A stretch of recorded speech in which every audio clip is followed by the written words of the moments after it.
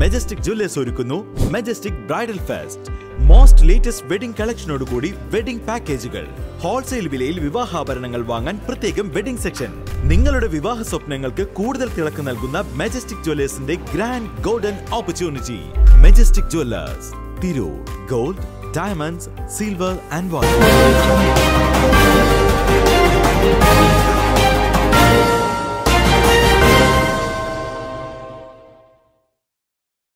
നമസ്കാരം. പ്രഹേളിക ന്യൂസിലേക്ക് സ്വാഗതം. ഞാൻ ധ്യാന. പുറത്തൂർ പടിഞ്ഞാറേക്കരയിൽ യുവാവ് കൊല്ലപ്പെട്ട നിലയിൽ രണ്ടു പേർക്ക് പരിക്ക്.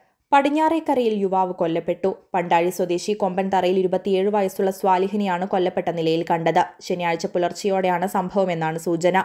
കൂട്ടായി കാട്ടിലപ്പള്ളിയിലാണ് യുവാവിനെ കൊല്ലപ്പെട്ട നിലയിൽ പ്രദേശവാസികൾ കണ്ടത്. പ്രദേശവാസികളായ രണ്ടുപേർ കോഴിക്കോട് മെഡിക്കൽ കോളേജിൽ ചികിത്സയിലുള്ളതായാണ് സൂചന. കൂടുതൽ വിവരങ്ങൾ അറിവായിട്ടില്ല. തിരൂർ പോലീസ് കേസെടുത്ത് അന്വേഷണം ആരംഭിച്ചു.